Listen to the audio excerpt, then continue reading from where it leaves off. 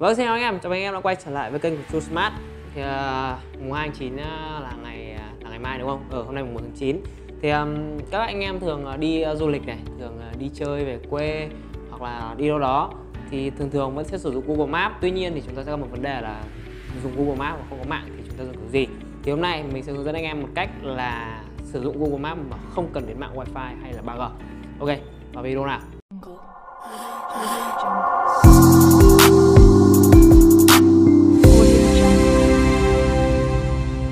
Thì à, đầu tiên đơn giản thôi. Các bạn à, vẫn quen thuộc là chúng ta vào à, App Store. Ok. À, chúng ta sẽ chọn Google Maps.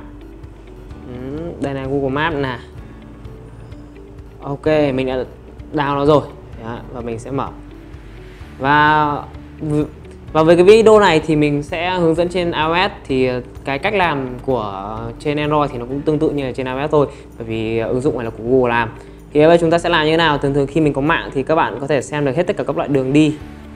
Đó, ở trên à, toàn cái thế giới này luôn. Đó. đó các bạn đây có thể nhìn được hết.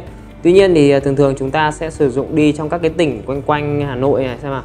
Bởi vì ngắn ngày mà chúng ta có Thái Nguyên Việt Trì Tây Sơn Hòa Bình hoặc là Phủ Lý Nam Định gì đó Hưng Yên Hải Dương Bắc Ninh Bắc Giang. Đó. Thì um, thường thường thì anh em đi đến đâu thì chúng ta sẽ bật mạng đến đấy. Tuy nhiên thì như vậy thì sẽ nhanh hết pin này như tốn 3G thì hôm nay mình sẽ hướng dẫn anh em một cách là để chỉ đường mà không cần mạng thì chúng sẽ làm như nào? Đầu tiên các bạn vào cái này. Đó thì các bạn sẽ vào cái bản đồ ngoại tuyến. Các bạn nhìn thấy không? Cái bản đồ ngoại tuyến này. Ok thì ở cái bản đồ ngoại tuyến này cho phép chúng ta là sử dụng cái bản đồ tùy chỉnh.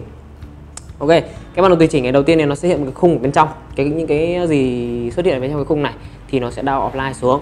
Thì uh, như ở đây là um, à như dữ liệu tải xuống ở đây là 175 m mà mình còn chống tận 28, 28.282 m tức là 28 GB nhỉ anh nhỉ?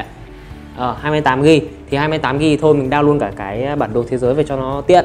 Thì, tuy nhiên thì các bạn ví dụ như các bạn muốn đi ờ, xung quanh ờ, Hà Nội nhá thì các bạn hãy zoom nhỏ cái này lại. Đó chúng ta sẽ đến tận Phúc Yên Thái Nguyên. Rồi như vậy là mình đã đào đến một ghi. đó thành phố Tuyên Quang thành phố Việt Trì. Các bạn đào rộng rộng đến đây đào tận Thanh Hóa luôn cho nó sợ. Hải Phòng luôn này thì chúng ta đã có khoảng tầm thì chúng ta đã có là 1,7 à, 1725 m tức là khoảng tầm 1 7 thì mình sẽ đao cái này xuống. Tuy nhiên thì đao cái này thì nó hơi lâu sẽ mất hơi mất thời gian của các bạn. Thì mình sẽ chỉ đao nhỏ nhỏ thôi. Bây giờ mình đang ở chỗ à, đây mình zoom zoom rộng ra. Mình đang ở khu à, Trung Hòa Bách Khoa các thứ thì mình đang ở Thái Hà nên nó định vị ở đây. Bây mình sẽ đao rộng rộng hơn chút. Đó, đến tầm này đi. Rồi mình đao hết cái Hà Nội. Đến tận à, Phúc Yên thị trấn Như Quỳnh ok ví dụ mình đao tầm này là có rơi khoảng tầm 500 m đao đến cả Bắc Ninh rồi. Đó, mình sẽ lệch lệch lệch sang bên này chút tại mình hay đi Bắc Ninh. Ok thì bây giờ mình sẽ ấn tải xuống. Ok bây giờ chúng nó đợi nó tải. Thì uh, cơ bản là mình tải đâu đó khoảng tầm gần một g nhưng mà server của Apple khá là nhanh. Chúng nó đao một tí mà đã rơi khoảng tầm 14 15 phần trăm rồi. Thì bây giờ mình sẽ đợi để cho nó đao đến 100 phần trăm nhá. Ờ, ok bây giờ là 24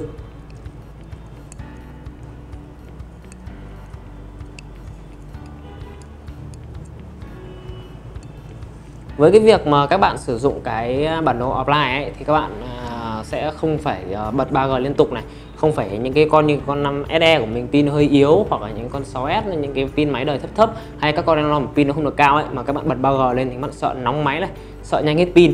Thì cái cách này sẽ làm cho các bạn có thể đi lại các cái tỉnh thành khác nhau cũng như đi du lịch một cách dễ dàng hơn mà không sợ bị lạc đường. Ok thì như chúng ta có 74% rồi. Phải đợi thêm nào. Server của Google thì thực sự là nó cũng kinh khủng. Mình down khoảng tầm gần ghi mà nó tốc độ vèo vèo. Mà cái mạng FPT thì nó đang như Đó. Nó, nó down như này là cũng khá là ổn. Bao giờ FPT mới thể dùng mạng của Google nhỉ? À ok. Cái bản đồ à, này thì nó đã hiện lên. Nên nó ghi ở đây là bản đồ 1 Hết hạn sau à, 29 ngày. Ở đây là có 94,6 mê lúc ấy mình chém gió nhầm thì mình sẽ đao thêm một cái bản đồ nữa là mình đao rộng rộng ra chút. Đao rộng ra cả các tỉnh khác nhau cho các bạn nhìn cho dễ. Mình đao cả cái miền Bắc cái đi cho nó sợ. À, à không đao được không đao được. Chúng ta sẽ chỉ đao được đến khoảng tầm Hà Giang Lào Cai Sơn La Thanh Hóa. Nên mình hay không đi lên mạng đấy mấy nên mình sẽ đi đến đây thôi. Thôi rộng rộng ra chút. Ngắn ngắn chút lại ok mình đã đao đây. Nó giờ một ghi. Đợi thêm tí nữa các bạn mình sẽ đao cho các bạn một cái bản đồ rộng hơn thì như vậy là các bạn, mình sẽ chỉ các bạn là ví dụ mình đi thanh hóa nó chỉ không nhá? Mùng hai chín đi thanh hóa được không nhỉ? Chắc là cũng được. Đi tắm biển. Hoặc là gần gần hơn đi Hải Phòng. Đi Đồ Sơn. Đi ăn ghẹ. Ok, vào. Đau một ghi mà còn nhanh hơn lúc đấy bốn mươi mấy phần trăm rồi. Sợ thật.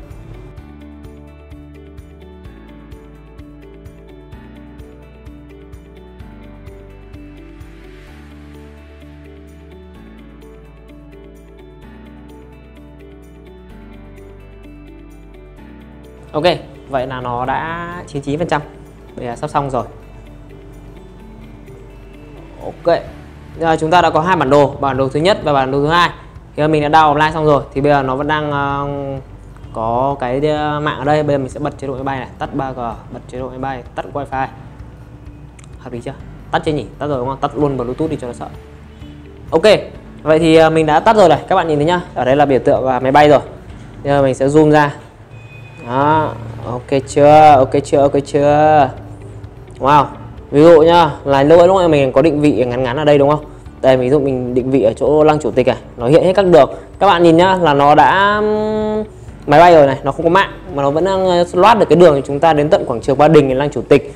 Thì như lúc ấy mình có đao thêm cả lên đến tận thanh hóa thì bây giờ mình sẽ search thử xem nào.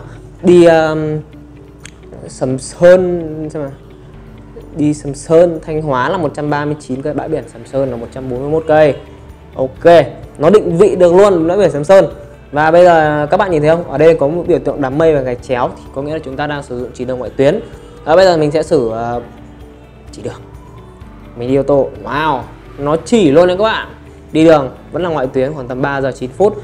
Và tuy nhiên thì cái GPS của chúng ta vẫn hoạt động kể cả có mạng không có mạng thì nó vẫn hoạt động. Thì ờ, nó sẽ bắt đầu chỉ cho mình. Bây giờ mình sẽ thử bắt đầu luôn này ok có nghĩa là cái định vị ẩn này nó vẫn cho phép chúng ta là định vị cả đường đi. Đấy, nó chỉ cho chúng ta cả hướng đi các thứ. Wow, nó chỉ ra quận Thanh Xuân Bắc rồi. Đó nó chỉ cho chúng ta đi. Đi đến tận cả Thanh Hóa luôn mà mà không sợ bị lạc cơ. Các bạn thấy hay không? Đấy chúng ta đi đến Sầm Sơn. Rất là tuyệt vời với việc chúng ta có cái bản đồ offline này. Các bạn có đi đến đâu thì đi. Trong cái bản đồ các bạn tải ấy, thì nó vẫn sẽ phục vụ tốt cho các bạn là chúng ta đi du lịch mà không sợ bị lạc hoặc là chúng ta đi trong Hà Nội mà không cần bật đến 3G hay 4G à, nhưng mà tuy nhiên thì có một cái vấn đề là chúng ta sẽ phải liên tục cập nhật cái bản đồ offline này. Đây cái bản đồ ngoại tuyến này. Thì nó sẽ chỉ có hạn là 29 ngày vậy nên mình khuyên các bạn là các bạn nên cập nhật cập nhật thêm về cái bản đồ này. Có nghĩa là ví dụ sau khoảng tầm là đâu đó một tuần hai tuần hay ba tuần tùy các bạn. Thì à, các bạn nên cập nhật cái bản đồ này. Ví dụ một tháng thì chúng ta có một thay đổi đường hay là thế nào đấy thì nó vẫn có thể hoạt động được đó thì chúng ta có đi đến đâu thì đi chúng ta không sợ bị lạc. Mong là các bạn à, sẽ có một chuyến du lịch ngày mùng 2 tháng 9 thật là vui vẻ này. À, không bị lạc đường và cũng như là lên được đến à, Đồ Sơn ăn ghẹ một cách thành công. Còn video mình đến đây kết thúc. Cảm ơn các bạn đã theo dõi video của mình. Đừng quên ấn like và share video cho mình nhá. Qua kênh chủ smart nữa để xem những video thú vị hơn. Còn bây giờ thì xin chào và hẹn gặp lại. Đi du lịch đây. Hi hi. Smart, hệ thống sửa chữa điện thoại số 1 Hà Nội.